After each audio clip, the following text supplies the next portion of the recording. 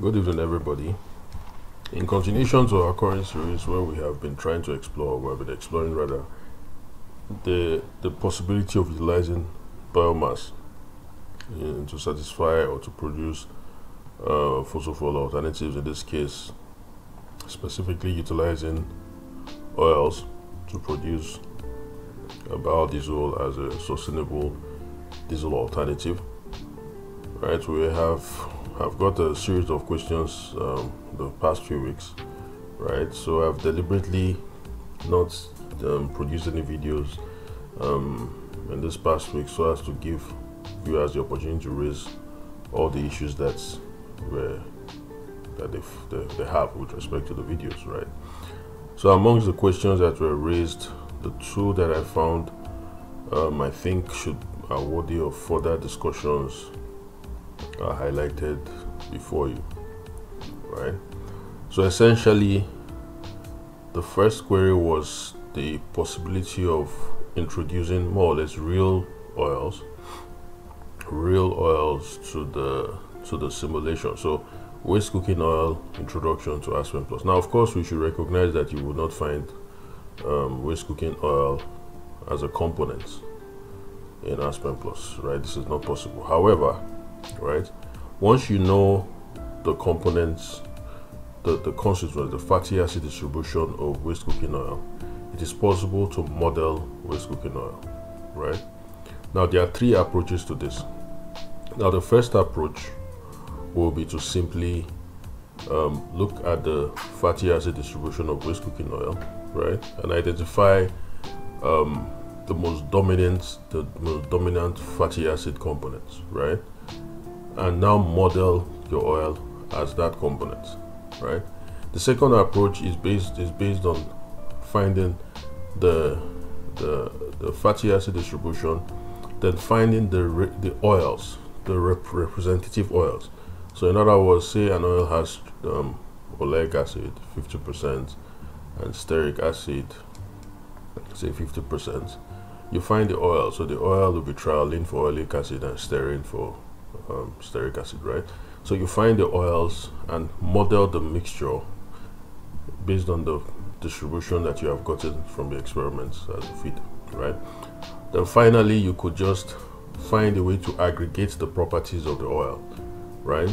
Um, then find the best representative model that best simulates the behavior of the mixture. I will describe what I mean. You know, the the, the third um, approach I think um, was demonstrated in the publication, which I will link um, in the description below. Right. So now this is essentially the the publication. Can I make this bigger? So what the authors actually did was that they were employing they were trying to model the biodiesel production from um, oil sourced from dissolved air flotation sludge, right?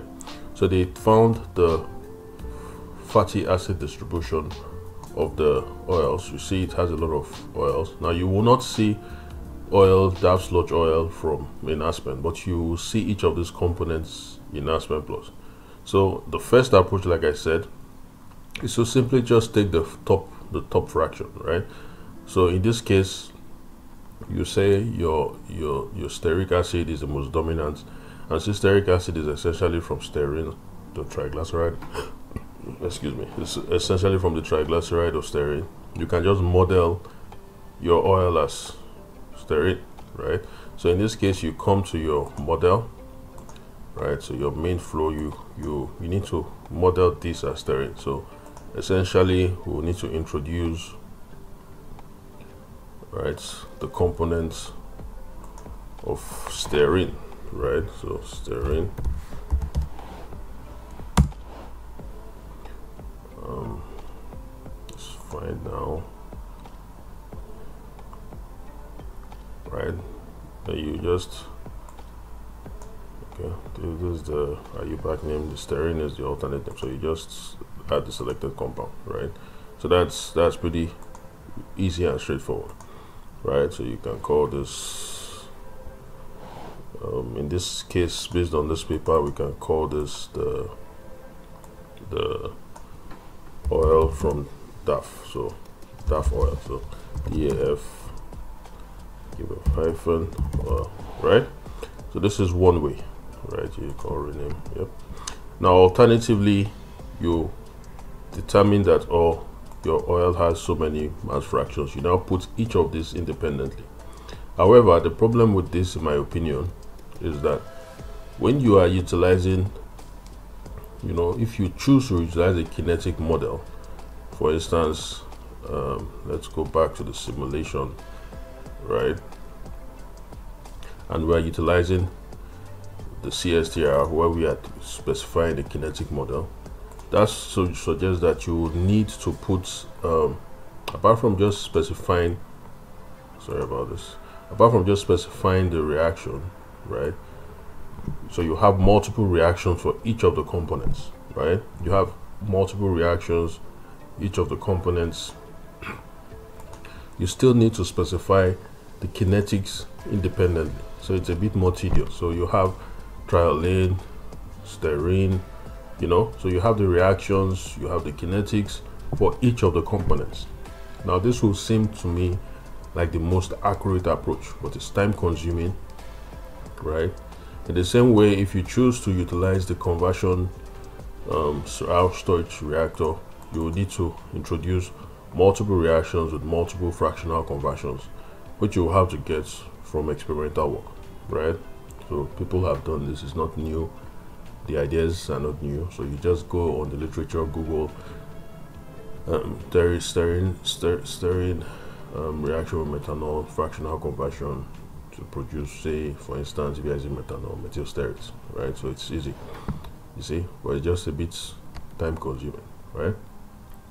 Now alternatively right based on what this this folks here did what they essentially did was to aggregate the properties so there's a method that uh, more or less splits the the the oil into um, constituent um, backbones, right? So now this method is based. It's called the CCF method, right? That more or less splits the the constituent into the backbone. So you, based on that, you can predict the properties. So I'm just trying to get to the final table, right? So essentially you have the table two. Again i'll put this paper there so you guys can have a quick read. And see it's quite interesting. Right so the chemical constituent fragment method right so it splits the triglyceride or the oil into the major fragment so it splits it into the major three fatty acids and the, gly um, the glycerol backbone right? Right based on this constituent you can now predict the properties of the oil right? You can predict the properties of the oil. So here you have the boiling temperature heat of formation you know? So you have the, the so many properties predicted based on the constituents right? So he used uh, the authors used uh, the group um, contribution parameters to also aid in the prediction of certain properties that need to be inputted into Aspen right?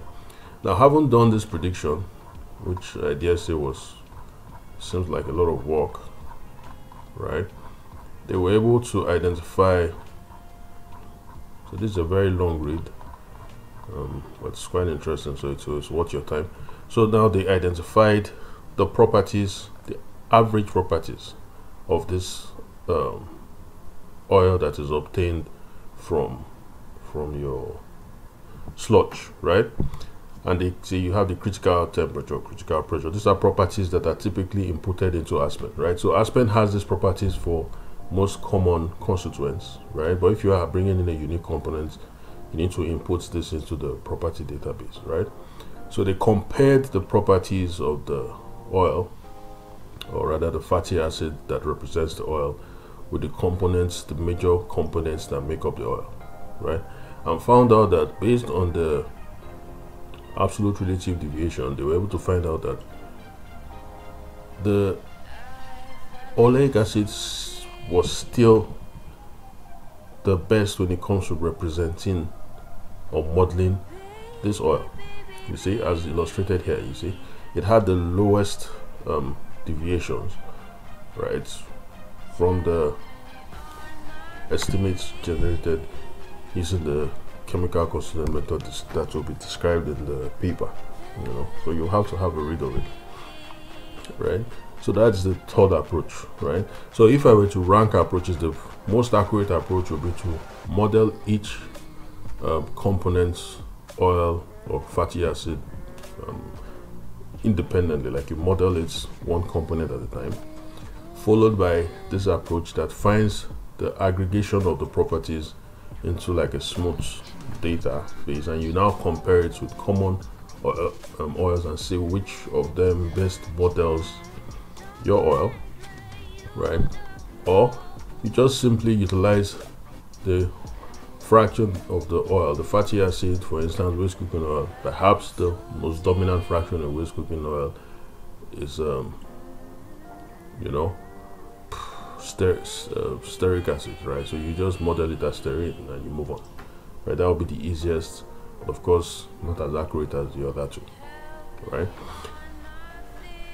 Now, moving on, the next query we had was um, um, now apparently the viewer had utilized, he said he was utilizing a catalytic reaction. He introduced a catalyst, right? So let's say he introduced an acid catalyst for simplicity i don't know the catalyst you use but whatever right the solid catalyst the heterogeneous catalyst right but he said that having set the flow rates and the time he now utilize the RStoic reactor and there was no change now there was no change because you have already defined your conversion based on what you obtain from the literature for a catalyst free process by introducing a stream Aspen doesn't suddenly increase your yield or your conversions for you. It is your job to go to the literature for that particular catalyst that you are introducing, find out the conversion and change the conversion in the reactor accordingly. Right? So that is your job. Right? So in, in other words, if you had introduced a catalyst um, and let's call the catalyst say the the the quasi homogeneous catalyst of Dowex, right? It's now being used quite um, readily because it's capable of easily donating um, hydrogen ions in aqueous solutions, right? While still maintaining a high level of um, separation phase um, stability, right? So let's assume you go you find in the literature that yes, you can utilize this catalyst to convert triolein to methanol. You introduce a stream excuse me so you introduce a stream say here right so you may say okay i want to introduce a catalyst stream before the mixer for instance right? You have the absolute the, the weights that was introduced um, to the to the to the reaction right? But you you now need to change the conversion here right? Because Aspen will not do that for you. So you come here maybe the conversion now is 0.95 right? You change it and you move on right? So yeah so i think um, these queries these questions were quite interesting um, and i'm really very happy that i got um, i'm getting interactions from the viewers. I, I love the questions. So please i will encourage us to have a quick read of that paper um, that will be linked in the description below. Have a quick read and see the method right? It's, it's quite time consuming but you have alternatives. So either you go for that method or you just look for the one the fraction that has the highest mole fraction right? The most dominant um, fatty acid constituent. And model it as a representative oil of that fatty acid component right? So yeah. So like I said we have got to a stage where we should be able to um, find the, the techno-economic assessments of this process. So the economic assessment um, involves the linking, which I've described in the past two presentations, right? So you, once you have linked it, you typically utilize costing parameters obtained from the literature or obtained from commercial vendors. So I expect that, um, except there are more questions that turn up, we should explore that possibility of at least having a quick, because it's a very simple process, so it shouldn't really take us that long. Um, so we should be able to um, begin the the economic assessment approach from the next presentation. Thank you for listening. Uh, look forward to seeing you in the next class. Bye bye.